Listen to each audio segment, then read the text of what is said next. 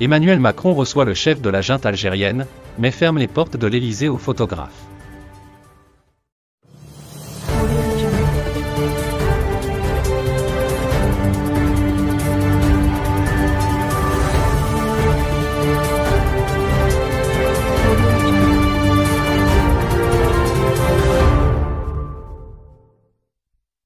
Le président français Emmanuel Macron a reçu, lundi 23 janvier 2023 à l'Élysée, le chef de l'armée algérienne, Saïd Changria.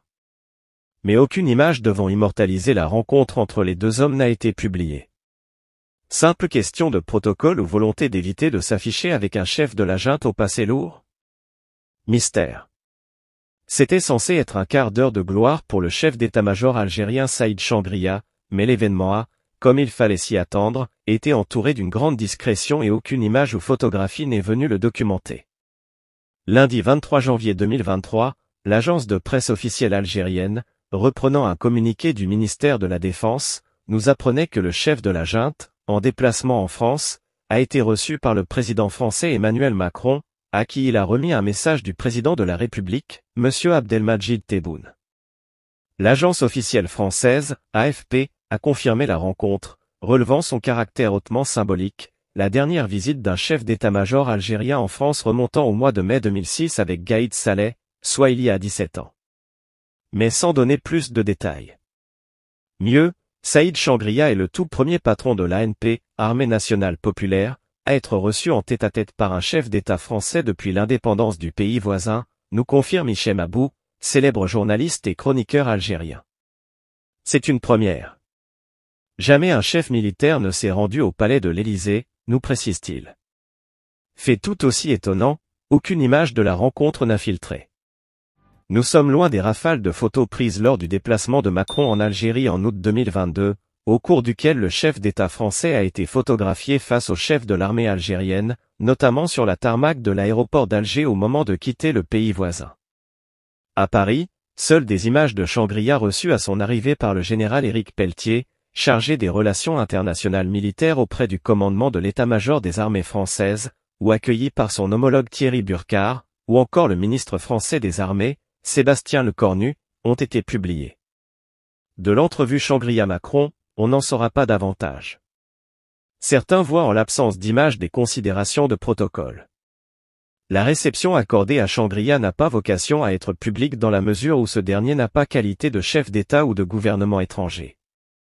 Ceci, en sachant qu'il est bien le numéro un du système politique algérien. L'absence d'image documentant cette rencontre est supposée signifier qu'il ne s'agit donc pas d'une réception officielle, explique Mohamed Chiker, chercheur spécialisé en diplomatie et en affaires militaires. D'autres affirment que le chef d'État français s'est gardé de s'afficher avec le chef d'une junte au passé lourd et dont le nom est associé, entre autres, aux exactions commises du temps de la décennie noire.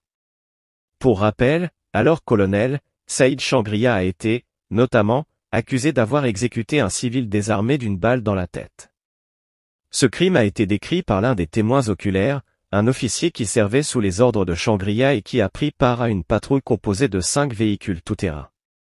Un crime documenté par l'ancien officier parachutiste algérien Habib Souedia, actuellement exilé en France, dans son livre La sale guerre.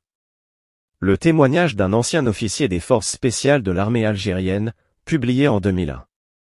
Chiker souligne néanmoins qu'en annonçant la rencontre, Macron a voulu cautionner et marquer le caractère important de cette visite et de ce qui en aurait découlé en termes d'accords et de décisions.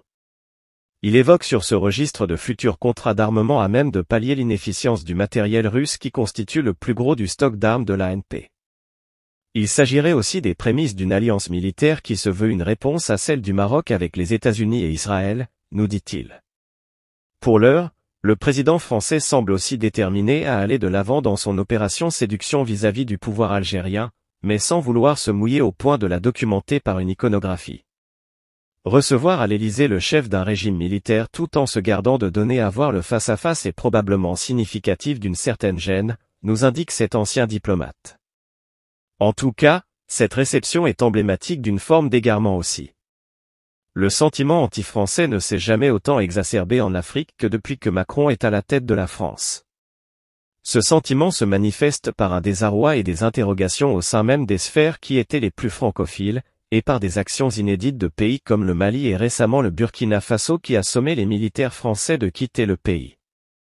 Si Macron pense que le régime d'Alger va suppléer la présence française au Sahel, c'est très mal connaître à la fois les capacités réelles de cette armée et les guerres intestines entre les clans qui la rongent.